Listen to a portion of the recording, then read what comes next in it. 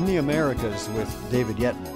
In season four, we travel on foot into Wyoming's Wind River Range. It's more civilized in Argentina's Mendoza with its Malbec wines and views of the Andes. South along Route 40 into Patagonia, we linger in the resort city of Bariloche and ply a sailboat on an Andean lake. We join the Garifuna people of Belize, celebrating their arrival in Central America.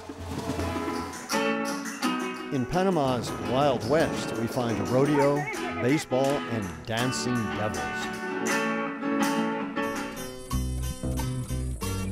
We find cowboys in Brazil's arid northeast, while traditional fishermen venture into the nearby sea in strange sailboats.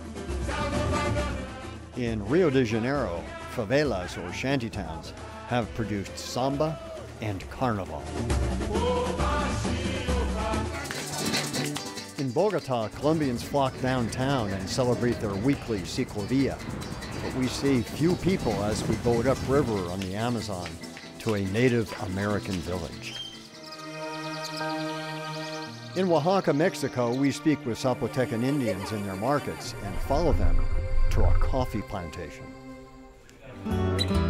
Back in the U.S., we pursue craft beers in Yakima, Washington during the harvest of hops. Welcome to season four of In the Americas with me, David Yetman.